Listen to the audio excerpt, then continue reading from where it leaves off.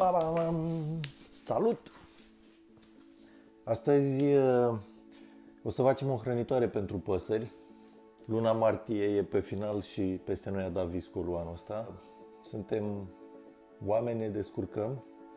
Din păcate, viețuitoarele mai mici au mari probleme, mă refer la păsări, și cea mai mare problemă a lor uh, este că nu au ce mânca în perioada asta, se acoperă de zăpadă, pe lângă faptul că le e fric de, de la vremea de afară.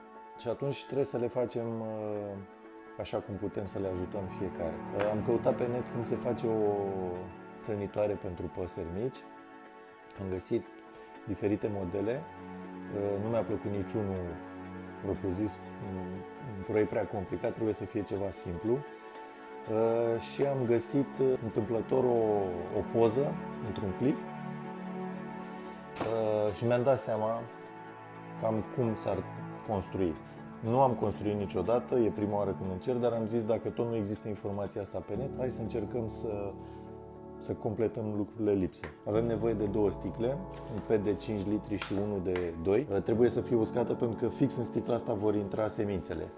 Apropo de semințe, mulțumim mama lui Alecu, grâu, boabe de floarea soarelui, atenție neprăjită, nesărată, deci dacă luați din comerț încercați să luați ceea ce trebuie, să nu le facem mai rău decât să le ajutăm. Și după cum vă ziceam, avem nevoie de un pet de 5 litri și unul de, de 2, un cutter și un marker.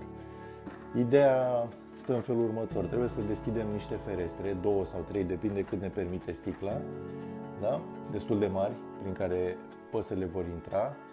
Ehm, sticla de 2 litri se va afla în interiorul sticlei mari și va avea niște găurele aici prin care vor curge semințele încet, puțin câte puțin, da? Pe măsură ce păsările mănâncă, uh, o să cadă mai multă mâncare. Să începem. Atenție, va trebui să începem undeva mai de sus, pentru ca să nu cadă semințele, da? Și atunci începem undeva de la, la baza asta. Și voi face încă una pe partea cealaltă. Asta odată făcută va fi și o sursă bună de subiect de fotografiat. Da? O alternăm într-un copac și putem sta la un geam sau un balcon al casei, al blocului și să fotografiem micile păsărele atunci când se hrănesc. Sper să nu mă tai.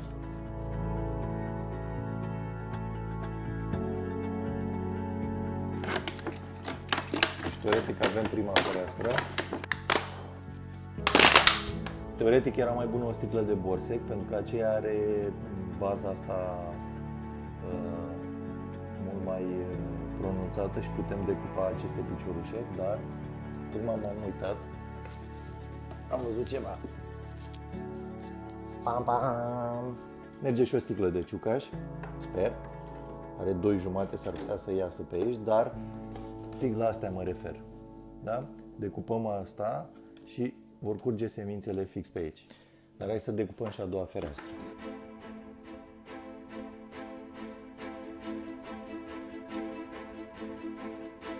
Bun, avem și a doua tăietură. Îndoim bine să rămână lăbărțat. Bun. Ei, acum vom decupa trei, trei găurele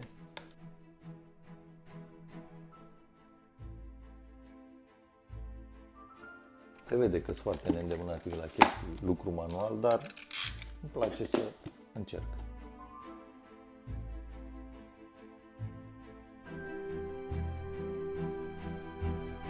Eh, și avem hrănitoarea noastră. Da? Pe aici o să alimentăm cu semințe. Trebuie să fac un con de hârtie.